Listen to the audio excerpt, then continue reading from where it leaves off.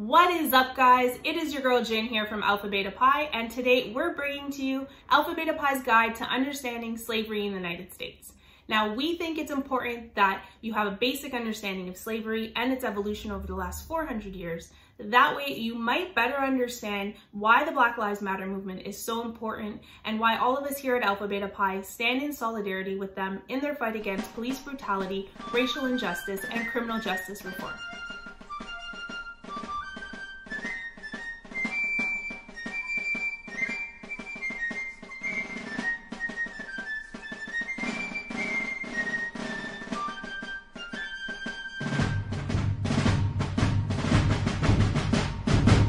side note, for those of us north of the 49th parallel, it's important to remember that we too are guilty of robbing our very own indigenous people of these very same civil rights. But back to slavery, let's start at the beginning. Okay, so the first set of slaves arrive in Point Comfort, Virginia in 1619. They're brought there by British privateers who intercept a Portuguese slave ship making its way to Mexico. And now over the next 200 years, Africans are brought to be used as laborers on the rice, indigo, tobacco, and cotton plantations found all over the United States. And the ownership of slaves now becomes a way of showing both economic and social status. Fast forward to 1830 and the US export economy is booming. Cotton is king and it now makes up 50% of all exports by 1860, the total economic value of slaves outweighs the total vested value of the nation's railways, banks, and factories combined. This means that people were spending more money on slaves than they were the very industries that the slaves were being forced to work in. In 1861, the Civil War starts, and now for the next four years, the North and the South battle it out over the institution of slavery. Not so fun fact, enslaved African Americans are forced to make the guns and ammunition to be used on those coming to emancipate them from slavery. And I think it's really important that we think about this the next time somebody expresses their distaste for the Confederate flag. Finally, President Abraham Lincoln abolishes slavery in 1865 with the 13th Amendment.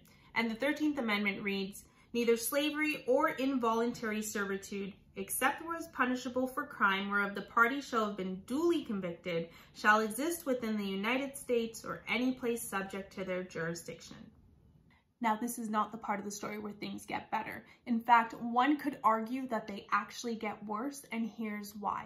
In 1865, it's estimated that there's nearly 4 million slaves in the United States with an average value of about $1,000. So if we do the math and carry the white privilege, that works out to about $4 billion just stripped from the economy with the passing of this one amendment. Now, the South especially were salty like salt beef. You see, they had just lost the war. They were forced to rebuild both their economy and their infrastructure, and now their most prized possessions had zero value. Desperate to regain control over African Americans and ultimately return them to work, they introduced what was known as Black Codes. These Black Codes were used to control, restrict, and essentially return African Americans to what was deemed to be their appropriate place in society. Some example of these codes are vagrancy, which was the crime of unemployment, literacy. It was actually illegal for African Americans to learn how to read or write, and even speaking too loudly in the presence of white women, which have given way to the evolution of Karen, and I would like to speak to somebody's manager about that, please. Now you might be wondering, how the hell were they even able to get away with something like this? And to you, I say the 13th Amendment. Actually, it's the loophole hidden right in plain sight except where punishable by crime whereof the party shall have been duly convicted. And this loophole gives way to what we call industrial slavery through the means of convict leasing. By the 1880s, we see more and more African Americans moving to the larger cities. Now, this is done for their own advancement, but also because the KKK were terrorizing the black communities of the South. Now, even the more progressive of white folks, though, still didn't want to interact with African Americans, and they definitely did not want to see their social or economic advancement throughout society. So from 1880 to 1964, the US introduces what is known as Jim Crow laws. And Jim Crow laws were used to enforce racial segregation. You see, the concept was that white and blacks were equal, but they didn't need to coexist together in society.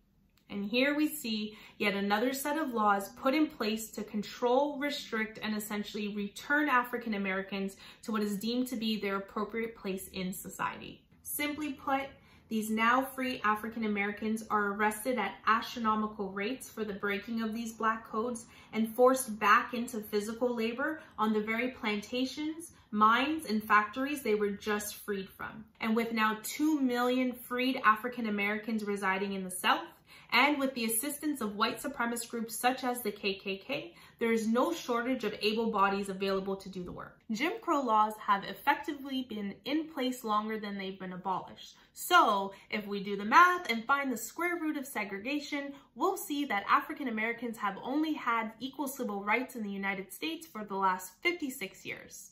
Around the 1960s, more and more Americans were starting to reject the ideologies that came with the Jim Crow era. This more progressive way of thinking gave way to the civil rights movement, and through peaceful protest, art activism, and liberation through education, the Civil Rights Act was passed in 1964. Now, this newfound solidarity was so successful that it was actually viewed as dangerous by the government. You see, they knew that these more progressive young minds would never vote on their policies. So in 1971, President Richard Nixon starts his War on Drugs campaign and declares drug abuse public enemy number one. The war on drugs viewed drug abuse as a criminal issue rather than a mental health issue. And for the next 40 years, they targeted African American, Hispanic, and hippie communities. John Ehrlichman was President Nixon's counsel and assistant for domestic affairs, and he had this to say in 1994 to Harper's Magazine.